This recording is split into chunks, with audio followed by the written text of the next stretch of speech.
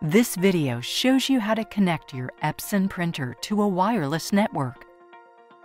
In this demonstration, you will be using the printer's buttons to select wireless settings. Before you start, there are a few things you need to check.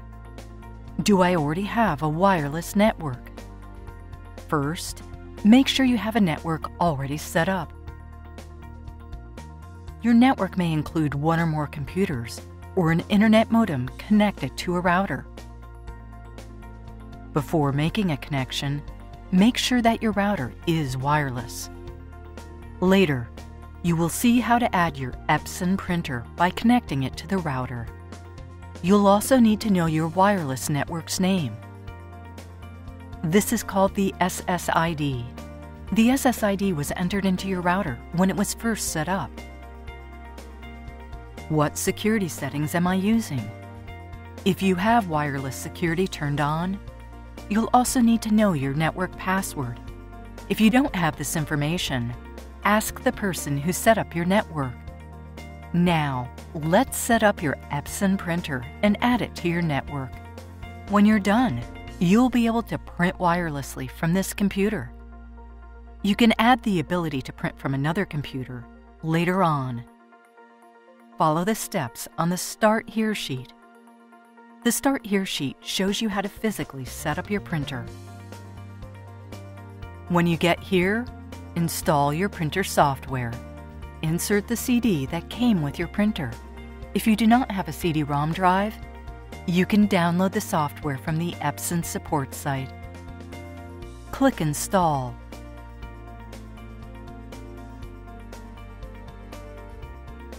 Follow the instructions on the screen to install the software. This can take several minutes. Your product may detect your wireless settings and automatically connect to your network. If it doesn't, you will need to manually add your printer to your network. At this screen, select how you want to connect. Since you want to print wirelessly, select Wireless Connection and click Next. Now select the option to set up the printer for the first time and click Next. Since you'll be using the printer buttons to connect to your wireless network, choose Using Printer Buttons and click Next. When you get to this step, look at your printer's control panel. If you do not see this screen, tap the Home button tap the Wi-Fi icon in the corner of the LCD screen. Tap Setup. Tap Wi-Fi Setup. Then tap Wi-Fi Setup Wizard.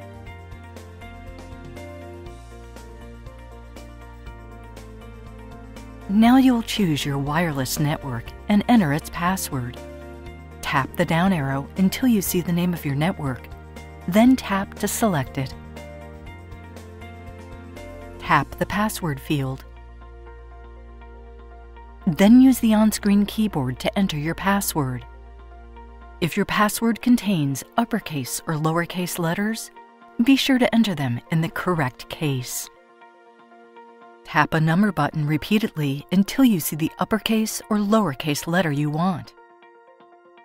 Tap the right arrow button to move to the next character, or tap the backspace button to delete incorrect characters.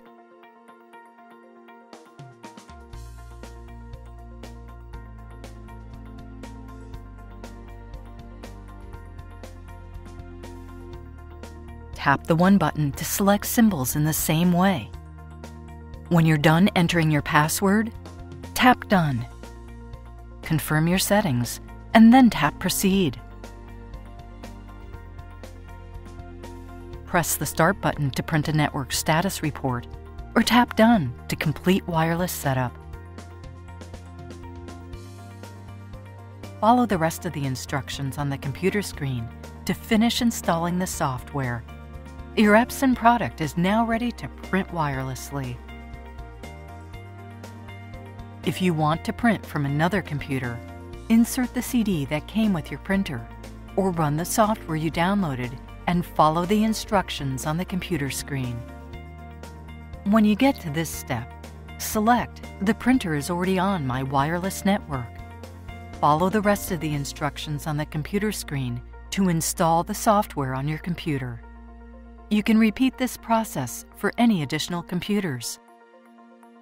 You are now ready to print wirelessly from your computers.